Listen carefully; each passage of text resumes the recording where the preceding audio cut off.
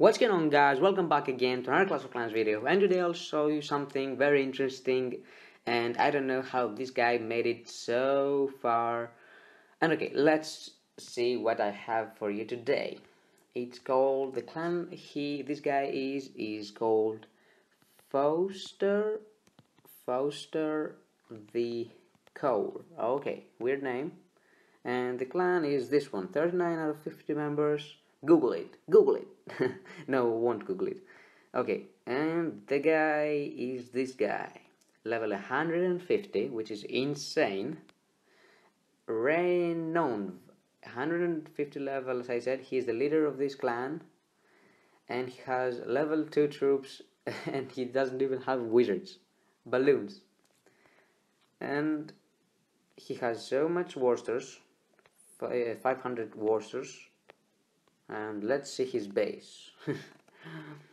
Town hall level 4 oh yeah believe it or not town hall level 4 level 150 the highest level uh, town hall level 4 level I have seen. He has an Xmas tree. That means that he's playing Clash of Clans for over a year.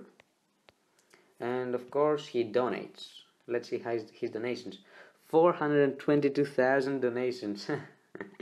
It's ridiculous but it's a very good idea, why not? Okay. I love this guy. Look at his base. So small and his level is huge. 150 level and all level 2 troops. Level 2 mortar and air defense. Level 4 town hall. Unbelievable. If you guys have seen a higher level town hall 4, I don't think you haven't, but drop it in the comments below. And also if you remember Zoe Pie, Town Hall level 4 and 4k 4000 trophies. If you remember that I've uploaded a video about it.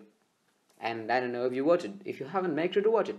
Okay thanks for watching. Make sure to like and subscribe for more videos and see you at my next video guys